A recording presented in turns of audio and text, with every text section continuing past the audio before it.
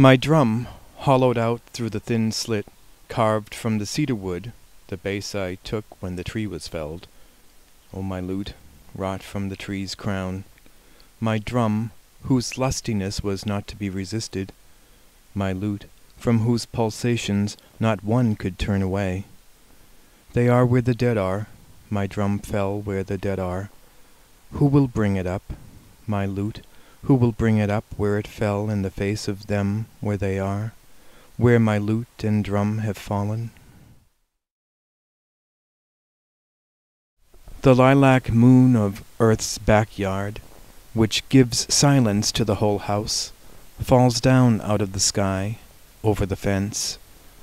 Poor planet, now reduced to disuse, who looks so big and alive.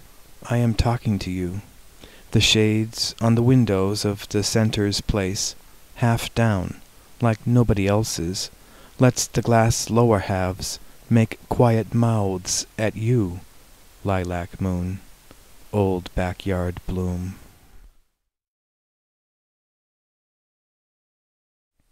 I have had to learn the simplest things last, which made for difficulties.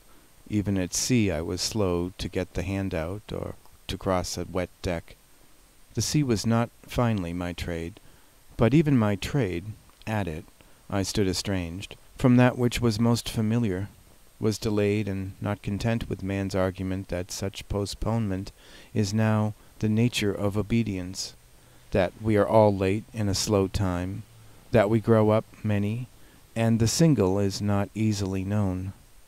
It could be, though the sharpness, the achiote, I note in others, makes more sense than my own distances. The agilities they show daily who do the world's business, and who do nature's, as I have no sense I have done either. I have made dialogues, have discussed ancient texts, have thrown what light I could, offered what pleasures doceat allows. But the known?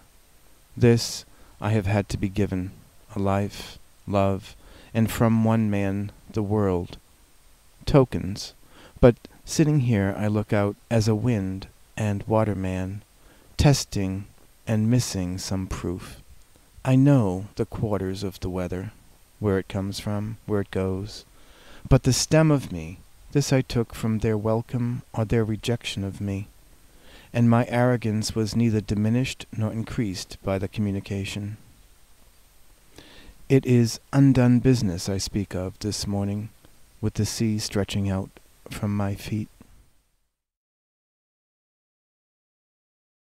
Colored pictures of all things to eat, dirty postcards, and words, words, words, all over everything. No eyes or ears left to do their own doings, all invaded, appropriated, outraged, all senses including the mind, that worker on what is, and that other sense, made to give even the most wretched, or any of us wretched, that consolation, greased, lulled, even the street cars, song. I live underneath the light of day. I am a stone, or the ground beneath. My life is buried with all sorts of passages, both on the sides and on the face turned down to the earth, or built out as long gifted, generous northeastern Connecticut stone walls are, through which eighteenth century roads still pass, as though they themselves were realms.